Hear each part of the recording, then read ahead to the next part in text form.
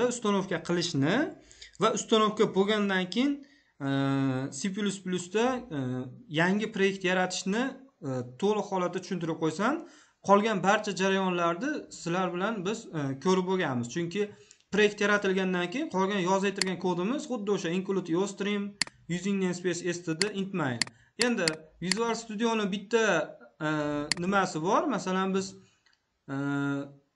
nimada? Code blocksda yangi proyekt yaratsak fayl menyusiga kirib e, newni bosib proyekt yaratamiz. Demak console applicationga kiramiz. Next tugmasini bosamiz. C plus plus tanlab unga proyektga nom berib next finishni bossam bu tomonga ro'yxatga qo'shiladi. Qo'shilgandan keyin mana bu yerda plusni bosib minus mysppni bossam bu menga tayyor hello world so'zini chiqaruvchi bitta e, nimani? Proyektni yaratib beradi. Visual studioda esa buni biz o'zimiz noldan qo'lda yozib chiqamiz. Ya'ni hammasini pustoy mana bunday oyna yaratiladi unda. Biz unga o'sha include yostream deb turib o'zimiz yozib chiqishligimiz kerak bo'ladi. Shunisi bilan farq qiladi o'shaning uchun uni sizlarga birato'la o'rnatish jarayonini ya'ni kompyuterga qanday qilib o'rnatamiz qayerdan programmani ko'chirib olamiz uni Э, hajmi katta endi vizual studio kodni ya'ni vizual kodni э, hech qancha hajmi katta emas. Э, lekin vizual studioni o'zini hajmi katta. Hozirgi yangi versiyalarda yangi kutubxona yangi nimalarga boy ekan. O'qib tanishib chiqdim. Uni hajmi katta uni ko'chirib olishni o'ziga ham masalan menda hozir mana bir haftaga yaqin vaqtim ketyapti muddatim. Sizlarga o'tgan hafta shu kuni bu programmani ko'rsatib beraman deb kechki payt borib uyda buyruq berganman. Bir haftada endi to'qson to'rt foiz ko'chirdi chunki internetimda. Men sizlarga e, bir hafta oldingi darsimda ogohlantirish bergandim. Bolalar ekranda ortiqcha belgi qo'ymanglar bloklab qo'yaman. Shu bilan qaytib kirolmaysizlar boshqa darslarga ham kirolmaysizlar deb aytganman. Shuning uchun ortiqcha belgilar qo'ymasalaring ekranga. Umuman e, keyin boshqa profil ochib boshqa profildan kirishingizga to'g'ri kelib qoladi yoki boshqa qurilmadan kirishingizga kerak kerak bo'lib qoladi. O'sha qurilmangiz e, zoom darslarga kirolmay turgan bo'lib qoladi. Ho'p ha ha.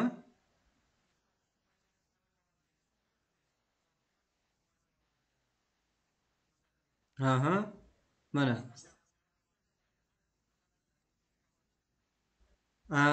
Noutbukda ishlaytirganlar diqqatiga e, haligi noutbugimizdagi klaviaturalar bor eng yuqori qatorda f birdan o'n ikki f o'n ikkigacha knopkalar bor. Bundan tashqari uni tagida boshqa vazifa bajaruvchi knopkalar bor. E, sizlarda ko'pincha holatda funksional klaviaturalar haligi noutbukda fn knopkasi bilan bosilishga o'tib qoladi. Fn bilan f to'qqizni bossangiz ishlaytirgan bo'lib qoladi Э, yoki bo'lmasa o'sha build menyudan э, build э, and run tugmasini tanlasangiz ham dastur natijasini chiqarib beraveradi. Mana build and run tugmasini bossangiz dastur sizga natijasini chiqarib beraveradi. Ya'ni faqat f to'qqizni bosib chiqarish e, degan nima yo'q. Ya'ni noutbuklarda yoki hozirgi zamon o'sha klaviaturalarda e, bitta knopkani o'rniga ikkita vazifa qo'yganda uni keyin bir dona knopkaga ya'ni bir dona klaviaturaga moslab qo'ygan ya'ni siz o'sha knopkalarni funksional ya'ni fn knopkasi bilan bosib e, f to'qqiz tugmasini bosaytirgan bo'lsangiz u knopka boshqa vazifa bajaradi. Knopkani o'zini bosaytirgan bo'lsangiz u keyin klaviaturada boshqa vazifa bajarishligi mumkin bo'ladi. Shunday holatda sizda f to'qqiz yoki bo'lmasa o'sha f birdan f o'n ikkigacha bo'lgan klaviaturalar vazifa bajarmay qo'yadi.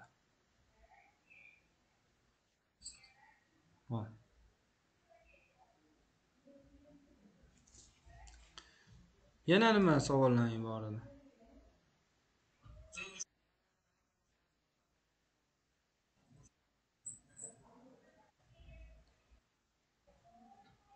mana shu guruhdoshlaringiz bilan o'zlaringda guruh bormi bironta? Yurtbadoshlar o'zlaring uchun yaratgan. O'sha guruhlaringga shu a'zo bo'lganlar nimasini gruppani silkasini tashlab beringlar. Bo'lmasa telegramdan meni qanday topishni bilasiz eldorbek e, telegramdan to'g'ri men o'zimga yozingda e, men sizga uni e, nima qilib yo gruppaga qo'shib qo'yaman yo silkasini tashlab qo'yaman. Hop qo'shib qo'ysalang bo'laveradi hmm, guruhlaringga qo'shib qo'yinglar bo'lmasa. Yo o'zi borman masofaviy ta'lim degan Э, umumiy katta gruppaga nima qilganman? Faqat nima deydi? Mm, U yerda uni o'chirib qo'yganman? Bezu juda ko'p xabar ko'payib ketyapti bitta gruppalaringda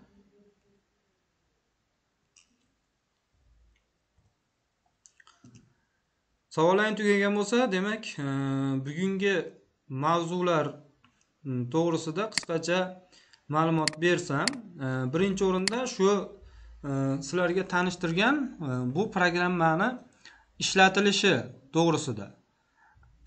Bu programmani asoschisi e, biz o'sha ustoz deb tanigan o'qituvchilardan bittasi e, qudrat abdurahimov e, nimaniki insonniki ya'ni bu yerda e'tibor qaratadigan bo'lsangiz mana bu odamni rasmini qo'yib qo'yganman. Bu odamni taniganlar bo'lsa bu odamdan anchagina o'sha kurslarini video kurslarini biz pulga sotib olib deydiyu pulga sotib olib ancha narsasini o'zimiz uchun o'rganganmiz.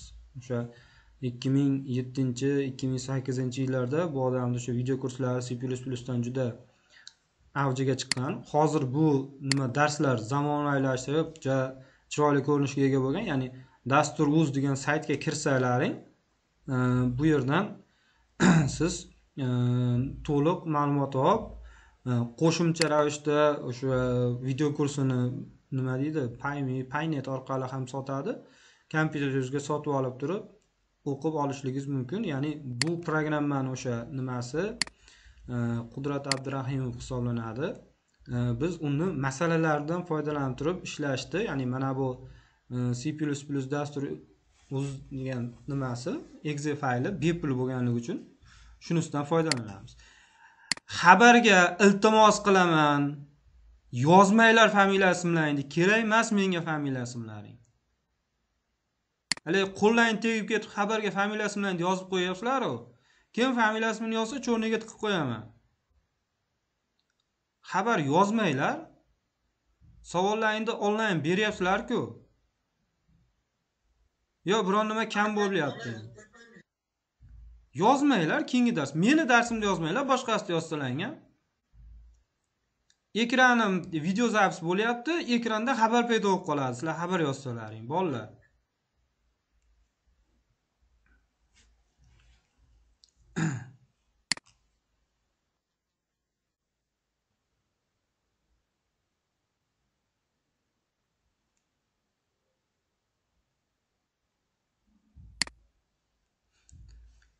Hop, bu programma bilan ishlash qiyin emas.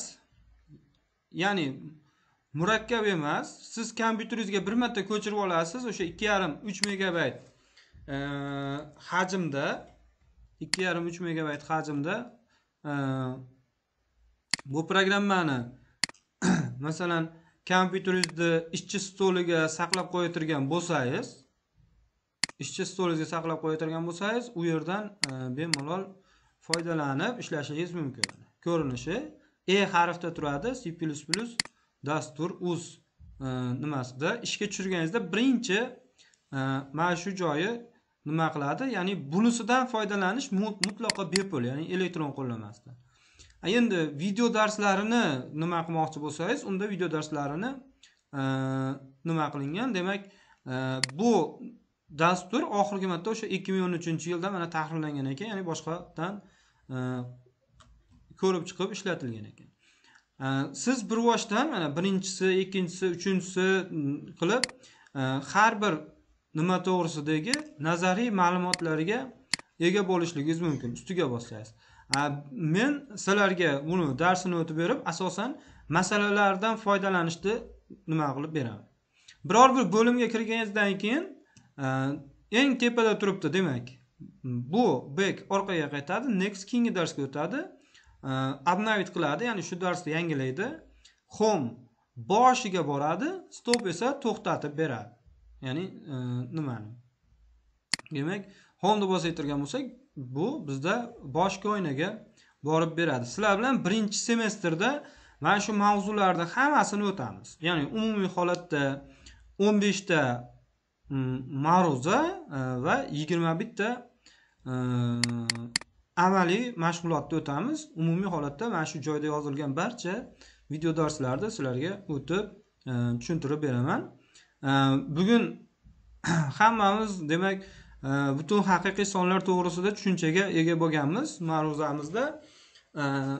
Butun va haqiqiy sonlar bilan ishlash butun sonlarda sizlarga tanishtirgan tiplarim int short long bularni hammasini razryadlari bilan tiplari bilan haqiqiy sonlarda o'sha float double e, bu tiplarni hammasini sizga nimada nazariy ma'lumotda bu yerdan to'liq ma'lumotni olishligingiz mumkin bo'ladi.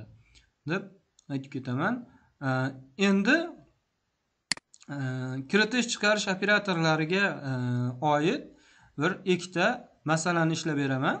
Э, hamma qolgan sakkiztasini э, ishlab umumiy holatda o'ntasini ishlashlaring kerak bo'ladi. Hamma o'zi uchun ishlasa qayerda xato qilayotgan bo'lsangiz sizlar bilan e, telegram orqali masofada ishlab domla men mana e, beshinchi masalani ishlayotgandim natija boshqacha chiqyapti deb turib mm, yoki menda dastur tuzgan dasturim ishlamayapti desangiz men sizga uni to'g'irlab berishligim mumkin bo'ladi. Birinchi misolda demak aytyaptiki kvadratning tomoni a berilgan deyapti. Uni perimetri aniqlansin. Demak e, perimetri p teng ekan to'rt ko'paygan a ga e, buni qanday qilib ishlaymiz? Kod blocks dasturiga kirib uni e, dasturini tuzishligimiz kerak bo'ladi. Birinchi o'rinda u yerdagi o'zgaruvchilar sonini aniqlab olishligimiz kerak bo'ladi. Bu formulasi bilan berib qo'ygan. Bu yerda qaysi o'zgaruvchi bor bizda? P degan o'zgaruvchi bor va a degan o'zgaruvchi bor. Bu o'zgaruvchilarni biz dasturimizda e'lon qilishligimiz kerak. Demak kvadratni tomonini int tipida p degan o'zgaruvchi e'lon qilyapman va unga qo'shimcha ravishda a deb nomlangan o'zgaruvchini e'lon qilyapman. Int p va int a qilib turib bu o'zgaruvchilarni biz o'zimiz uchun e'lon qilib oldik. Bu o'zgaruvchilarni e'lon qilib olganimizdan keyin endi bu yerda biz a ga qiymat bersak ya'ni umumiy holatda e, bizga aytyaptiki e, kvadratni tomoni a berilgan uning perimetrini topishimiz kerak ekan. Misolda yana bir marta ko'rsataman demak kvadratning tomoni a berilgan. Biz dasturimizda a ga qiymat kiritayotsak ya'ni a ga qiymat kiritsak e, umumiy holatda p ni hisoblab chiqarib berishligi kerak bo'ladi. Seout bilan izoh e, chiqarib olaman. Kvadratning tomoni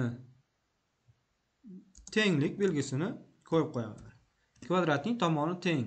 Hozir mana shu holatda f9 tugmasini bosaytirgan bo'lsam bizda e, dastur faqatgina kvadratning tomoni teng degan yozuvni chiqarib beradi. Dasturimiz ishga tushganda yozuv.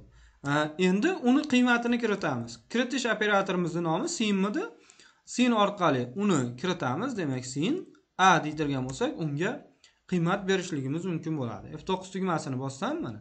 Kvadratning tomoni teng degan yozuv chiqyapti. Endi unga ikki qiymat bersam enter tugmasini bossam bizda hali hech nima chiqqani yo'q. Faqatgina e, dasturimizda qiymatni o'zlashtirishimiz mumkin bo'ladi. Endi hisob kitob qilamiz demak. P teng bo'lsin. E, to'rt ko'paytirilgan a ga deb turib e, uni hisoblashligimiz mumkin bo'ladi.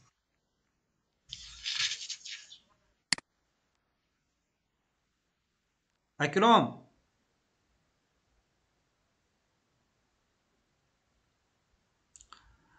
Bu yerda hisob kitobni amalga oshirdik. Hisob kitobni amalga oshirganimizdan keyin endi uning qiymatini ekranga chiqarishligimiz kerak bo'ladi. Chiqarish operatorimizni nomi nima edi? Kimdir aytib yuborsin. Cout demak e, chiqarish operatorini yozamiz. Cout e, ekranga chiqarish belgisini qo'yib turib e, p ni chiqarayotgan bo'lsak bizga e, natijani chiqarib berishligi mumkin bo'ladi. Bu yerda demak birinchi kvadratning tomoni teng ya'ni kvadratning tomoni degan yozuvni chiqarib olyapmiz. Endi unga qiymat beramiz. Masalan ikkiga teng bo'lsin deytirgan bo'lsak sakkiz degan qiymatni chiqarib beryapti. Oldiga izohni chiqarishligimiz uchun nima ish qilardik? Oldiga izoh ya'ni mm, kvadratning perimetri degan yozuvni chiqarib qo'yishligimiz uchun biz e, siaut operatoridan so'ng ya'ni ekranga chiqarish buyrug'idan keyin qo'sh tirnoqni ichida e, yozuv chiqarib olaman. Demak kvadratning perimetri degan yozuvni chiqarib olaman va undan keyin yana ekranga chiqarish e, buyrug'ini belgisini yozib turib p ni qiymatini ekranga chiqarib qo'yishligim mumkin bo'ladi. F9 tugmasini bossam demak 3 qiymat kiritayotgan bo'lsam kvadratning perimetri necha chiqyapti bizda? 12 ya'ni umumiy holatda e, uni 4 ga ko'paytirib chiqarish imkoniyatiga ega bo'lishligimiz mumkin bo'ladi. Endi ikkinchi masalani ko'raylik. Demak ikkinchi masalamiz e, kvadratning tomoni a berilgan ekan uning yuzasi. Buni hisoblashligimiz uchun demak a ga qiymat berib turib a ni kvadratini nima qilib qo'yishimiz mumkin bo'ladi? Ekranga chiqarib qo'yishligimiz mumkin bo'ladi. Eng pastiga tushyapman demak o'ngacha bo'lgan masalalarni ishlaysizlar deyapman. O'ninchi masala. Nolga teng bo'lmagan ikkita son berilgan deyapti. Ularning yig'indisini deyapti ko'paytmasini deyapti va har birining kvadratini ekranga chiqarib bersin deyapti. Demak o'ninchi masalaga e'tibor qaratishlaringni so'rayman. Bu yerda aytyapti. Nolga teng bo'lmagan ikkita son. Demak kiritayotganimizda ikkita sonni nolga teng qilmasligimiz kerak. Ularning yig'indisi ko'paytmasi va har birini kvadratini e, ekranga chiqarishligimiz kerak ekan. Buni qanday qilib ishlaymiz? Yangi proyekt yarataman. File new proyekt. Console application. Next c tanladim. Xo'p, 10 masala deyapman. 10 masala deb yozdim. Next finishni bosdim. Finishni bosganimdan keyin, e, demak, 10 masalamni plusini bosdim, minus ppsini ishga tushirdim. E, bizga aytildiki, 0 ga teng bo'lmagan ikkita son berilgan deyapti. Butun e, ikkita butun sonni e'lon qilyapman. Qanday qilib e'lon qilaman? Ikkita butun sonni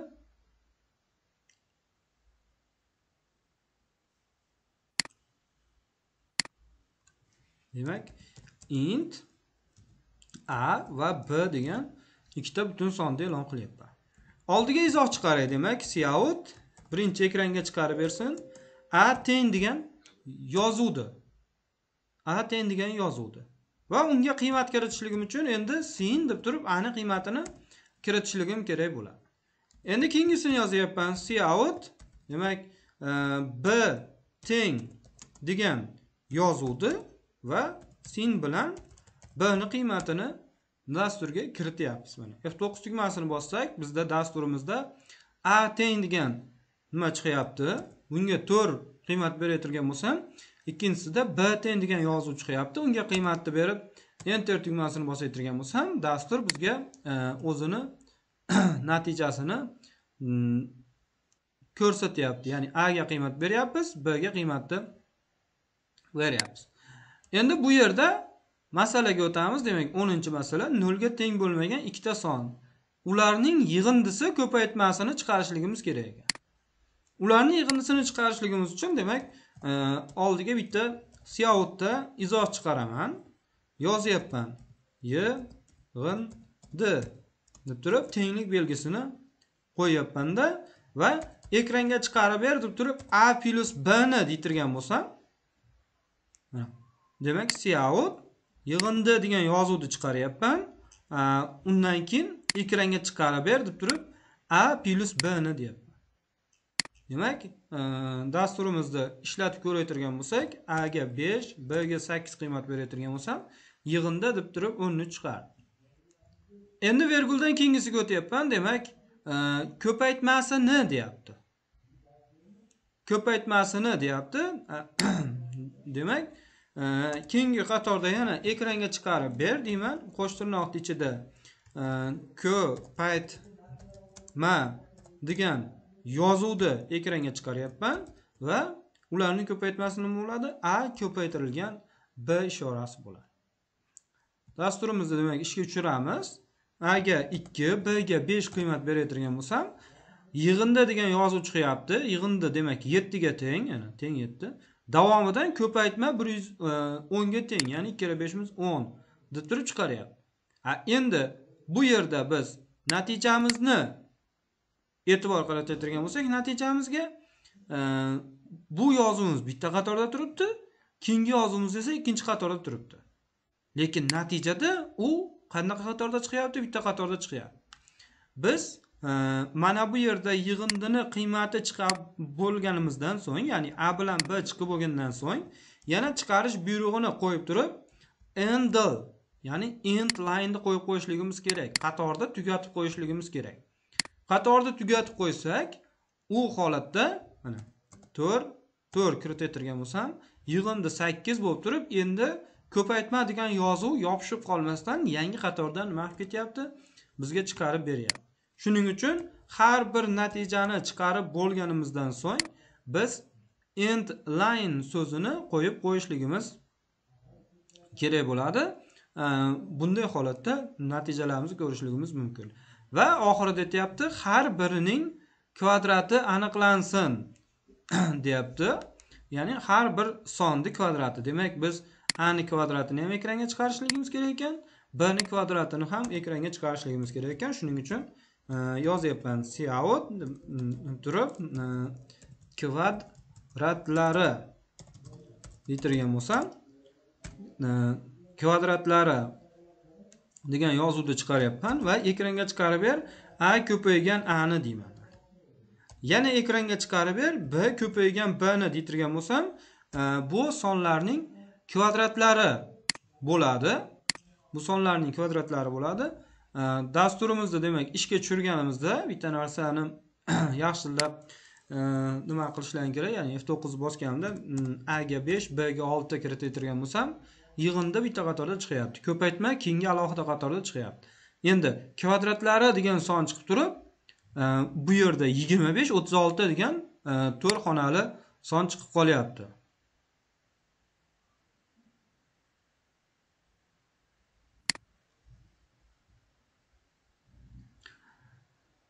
Endi bu yerda bu sonlarni e, bir biriga yopishib qolmasligi uchun deymizu ya'ni bir biri bilan alohida turishligi uchun e, oldiga izoh chiqarib turib e, yozib qo'yishligingiz mumkin. Mana bu yerda mana a ni qiymatini chiqardik undan keyin b ni qiymatini chiqardik. Shu oraliqqa men ekranga chiqarib berdim deb turib qo'shtirnoqni orasida bitta bo'sh joy qo'yib qo'yaman. Qo'shtirnoqni orasida bitta bo'sh joy qo'yib qo'ysangiz endi e, qiymatni chiqarganingizda olti sakkiz chiqib turib mana kvadratlari ikkini kvadrati to'rt to'rtni kvadrati o'n olti bo'lib turib orasida bitta bo'sh joy bilan e, chiqishligi mumkin bo'ladi.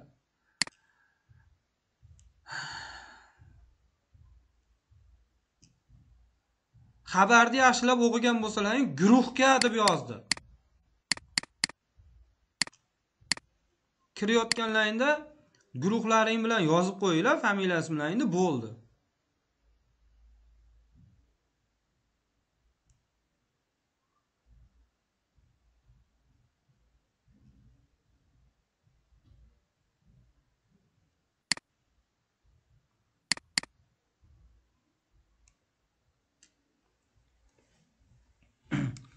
Mana shu tartibda e, qiymatlarni hisoblab ularni E, ekranga chiqarish imkoniyatiga ega bo'lasizlar. Demak men sizlarga birinchi masala bilan e, o'ninchi masalani nima qilib ishlanish jarayonini ko'rsatib berdim. Endi sizlar mustaqil ravishda ikkidan boshlab to'qqizgacha sakkizta masalani ishlaysizlar sakkizta masalani ishlab turib e, uni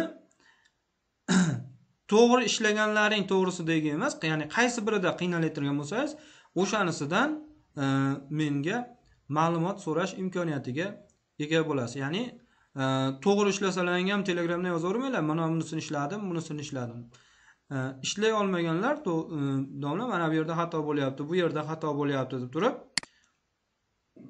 ma'lumotlarni olib u yerdan to'g'ri ma'lumotlarni kiritish imkoniyatiga ega bo'lishligingiz mumkin bo'ladi. Keyingi nimamiz? Endi oltinchi bo'limda turibdi. Beshinchi mavzuni sizlar bilan o'tib bo'lganmiz. Oltinchi bo'limda turibdi. Butun va e, haqiqiy sonlarga oid e, masala deyilyapti. Bu yerda birinchi masalaga e'tibor qaratadigan bo'lsak demak uzunlik l santimetrda berilgan deyapti. Undagi to'liq metrlar sonini aniqlovchi dastur tuzilsin. Bir metrimiz e, yuz santimetr deb turib nimani beryapti? Demak biz l o'zgaruvchi e'lon qilamiz. Santimetrda qiymat kiritsak uni metrga o'tkazishligimiz kerak ekan. Yangi proyekt yarataman. Console application next. Keyingi masala demak o'n birinchi masala degan nom beryapman e, bu misolimga. E, buni ichiga misolni yana qaytaraman. Uzunlik l santimetrda berilgan. Biz e, lni e'lon qilib turib uni dasturimizga kiritishligimiz kerak ekan. Demak e, butun son e, masalamizda aytilgan butun va haqiqiy son. Bu yerda butun son e'lon qilyapman. L santimetrda cout ekranga chiqarib bersin birinchi demak l teng degan yozuvni ekranga chiqarib olyapmanda. Sin deb turib lni qiymatini kirityapman. Endi bu kiritilgan e, sonni metrda chiqarishligimiz kerak ekan demak. E, Cout ekranga chiqarib ber santimetrni metrga aylantirishligimiz uchun mish qilamiz. Qani? Masalan men 100 santimetr kiritsam uni 1 metr deb chiqarishligi uchun.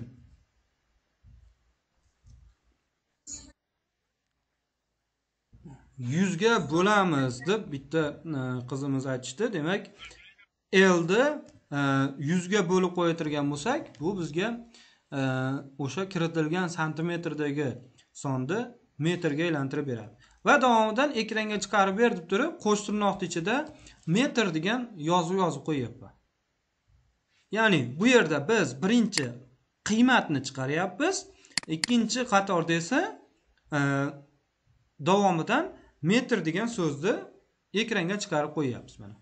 L teng chiqyapti demak yuz kiritayotgan bo'lsam yuzim bir metr mana bu yerda metr degan so'zdan keyin bitta bo'sh joy qo'yib qo'yaturgan bo'lsangiz e, ikki yuz santimetr deb kiritayotgan bo'lsam ikki yuz santimetrim demak 2 metrga teng.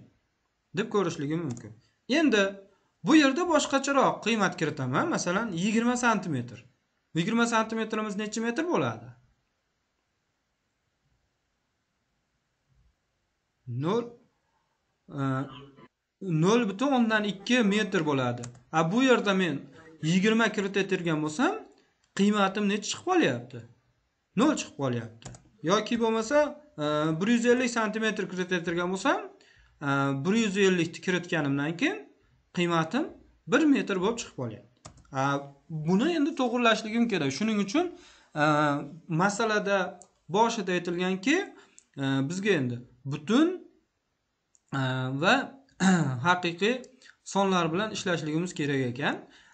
Endi buni biz haqiqiy sonda e'lon qilishligimiz kerak. Ya'ni intimiz qiymat kiritsak uni butun songa aylantirib yuboryapti. Buni haqiqiy son qilib olsam mana double tipida l kiritayotgan bo'lsam endi masalan bir yuz yigirma santimetr deytirgan bo'lsam buni bizga mana bir butun o'ndan ikki metr qilib turib qiymatimizni chiqarib beryapti. Yoki bo'lmasa yigirma santimetr kiritayotgan bo'lsam mana xuddi o'sha nol butun o'ndan ikki metr. Buni int tipida yozaytirgan bo'lsam u butun son bo'lganligi uchun qiymatni bizga butun qismini chiqarib beradi xolos. Haqiqiy son yozaytirgan bo'lsam e, u holatda haqiqiy son sifatida bizga natijani ekranga chiqarib berishligi mumkin bo'ladi. Ya'ni butun son bilan haqiqiy sonni siz e, mana shunday tartibda ajratib olishligingiz kerak bo'ladi. E, bugun sizlarga demak e, butun va haqiqiy sonlar bilan ishlagani mana bitta mayonez pp endi yoniga o'tay turgan bo'lsam e, o'ninchi masalani ishlanishiga bitta dastur. E, birinchi masalani ya'ni kvadratni tomoni berilgan perimetrini topuvchi dastur. Va yangi bitta o'sha har doim sizlarga yozardim ahror qayumov so'zini ekranga chiqarib beruvchi dastur qilib o'rgangandik endi qaysi proyektni qayerda ishlatishlikni ko'rsatib o'taman? Masalan men e, siyout ahror qayumov turibdi. F9 tugmasini bossam menda haligi haliyam nima turibdi?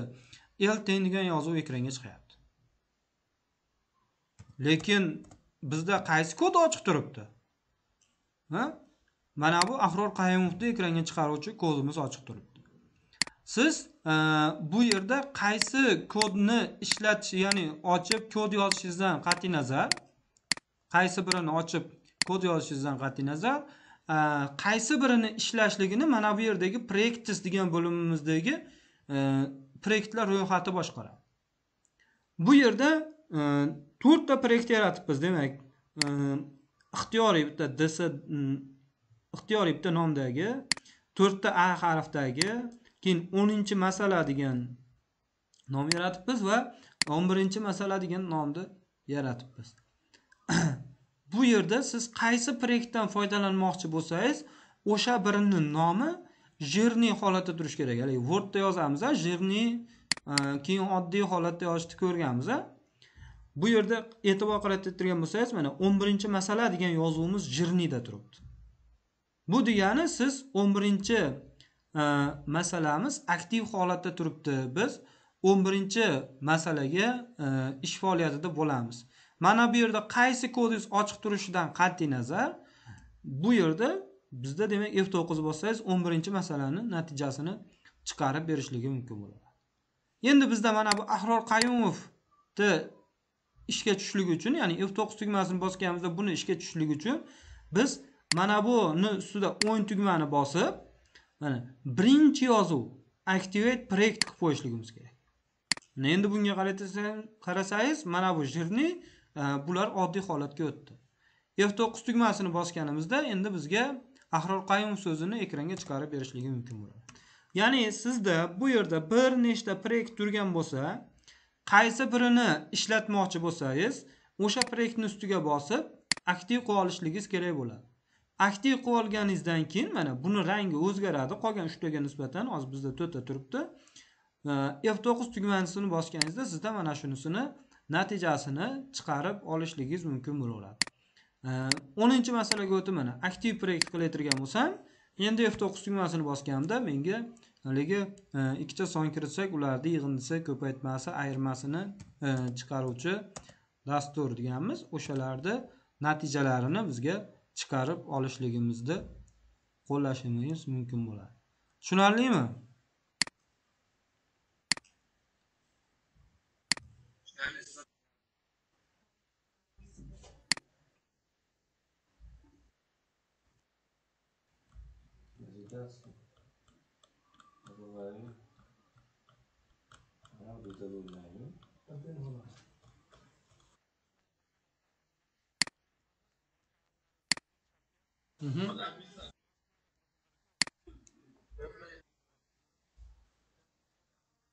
Yo'q.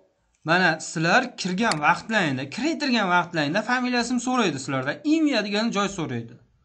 Shu imiya degan joyga hmm. Xo'p, endi mana bu yerdagi e, 10-masalani ko'raylik. E, bu yerda aytyapti, 3 xonali son berilgan. Deyapti.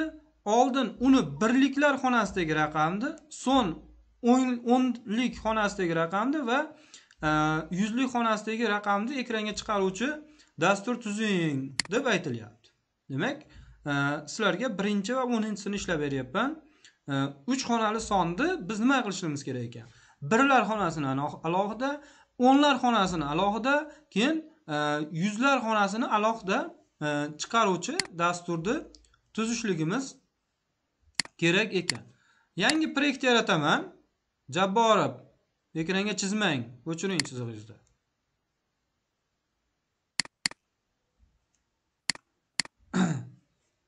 hop yangi proyekt yaratyapman. Masala deb turib 11 bo'ladi. Endi 12 deb turib nom beryapman bunga. hop Kodimni kattalashtirdim.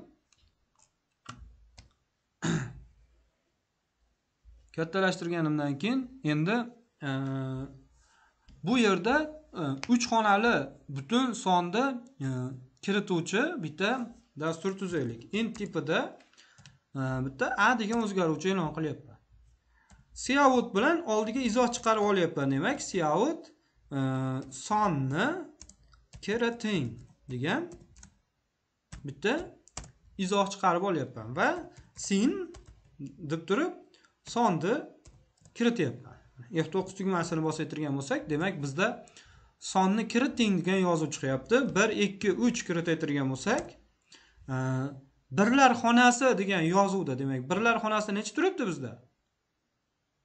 Uch turibdimi? Shu uchni ekranga chiqaruvchi dastur tuzishligimiz kerak ekan buni qani bir mm, o'ylaylikchi qanday qilsak shu uchni o'zini ajratib olishimiz mumkin? Yoki bo'lmasa f to'qqiz tugmasini bosib turib masalan ikki yuz ellik sakkiz kiritsam birlar xonasidagi sakkizni bizga e, qanday qilib ajratib olsak bo'ladi? Bir fikrlaringni eshitaychi o'nga qoldiqli bo'lib yuborsak ya'ni bu belgimiz qanday edi? Foiz belgisidan foydalangan holatda uni e, amalga oshirishligimiz mumkin bo'ladi. Rahmat. Demak adan keyin bitta qo'shimcha o'zgaruvchi e'lon qilyapman. B degan o'zgaruvchi. Birlar xonasini chiqarishlik uchun masalan buni birlar degan o'zgaruvchi olib olyapman endi yozyapman hisob kitobimda. Demak birlar degan o'zgaruvchimni qiymati teng bo'lsin. Ani foiz belgisi o'nga bo'laytirgan bo'lsak u bizga birlar xonasidagi qiymatni ekranga chiqarib berishligi mumkin bo'lar ekan endi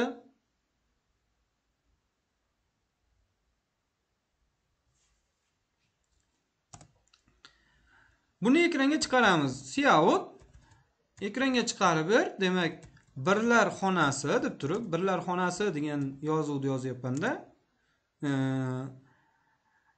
Ekranga chiqarib bersin.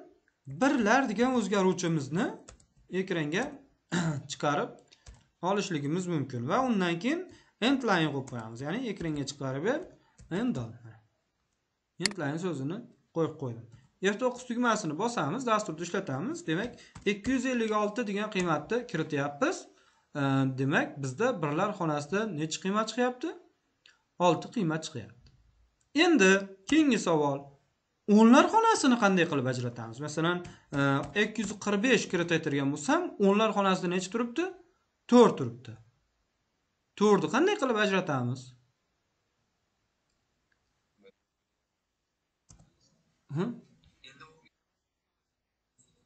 O'nga emas yuzga bo'lsak kerak bo'pti mana yuzga bo'lib ko'raman men e, qo'shimcha ravishda e, yuzga qoldiqli bo'lib turib o'nga butun bo'lamiz. Ho'p e, bu yerga bitta b degan o'zgaruvchi olyapman buni e, o'nlar xonasi uchun. Chunki o degan belgidan foydalana olmaymanku men mana. O'n degan belgidan foydalana olmayman shuning uchun e, bitta b degan o'zgaruvchi olyapmanda. Shu b degan o'zgaruvchimni qiymati teng bo'lsin deyapmiz. Bitta sherigimiz aytishdi shu shu ani yuzga qoldiqli bo'lamiz deyishdi yuzga qoldiqli bo'lib turib bitta qiymat chiqarib ko'raylik keyin e, qaysi holat e, yuz berishini ko'raylik. Demak o'nlar xonasidagi son deyapmiz. Bunga ekranga chiqarib ber b ni qiymatini va endline qo'yib qo'yibman endi f9 tugmasini bosaytirgan bo'lsam demak 245 kiritaytirgan bo'lsam o'nlar xonasida yuzga qoldiqli bo'lsam nechi chiqib qoldi? Qirq besh chiqib qoldi. qirq besh chiqib qoldi. Demak e, bu birinchi raqamni tashlab yubordida bizga qirq beshni nima qilib berdi? Aniqlab berdi. Endi e, yana qizimiz bizga bitta fikr berishdi ya'ni b qiymati endi bizga qirq beshga teng bo'lib qoldi. Bu qirq beshdan to'rtni aniqlab olishligimiz uchun b ni e, o'nga bo'lib yuborishligimiz kerak bo'ladi. B ni o'nga bo'lib yuborsak bu ifodani e, tanishmi sizlarga ya'ni o'tgan safar aytgandim plyus teng ko'paytirish teng bo'lish teng deb nomlangan ifodalarimiz bor deb aytib o'tib ketgandim e, xuddi shu e, ifodadan foydalanyapman b bo'lingan teng o'n deb yozib qo'ydim. Bu nima degani? Mana kimdandir bir fikr eshitaychi.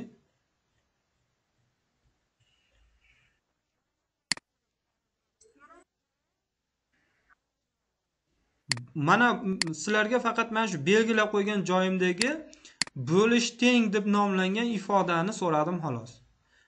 Demak bu degani bni eshitdinglar bo'pti rahmat. Bni o'nga bo'lib bni o'nga bo'lib qiymatini bga o'zlashtirib bergin degan nima bilan yozishligimiz mumkinligini tushuntirib ketyapmiz. Demak sonni kiritamiz ikki yuz qirq oltita kiritayotgan bo'lsak birlar xonasi olti o'nlar xonasi to'rt deb turib o'nlar xonasini nima qilib oldik biz?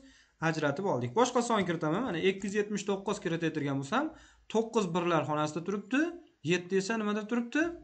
O'nlar e, xonasida turibdi. Endi buni yuzlar xonasini qanday qilib ajratamiz? Foizli yuzga bo'lib yuborsak e, unda faqat birinchi ikkinchi ya'ni o'nlar xonasi bilan birlar xonasini ajratib beradi xolos mana. A foiz belgisi yuz.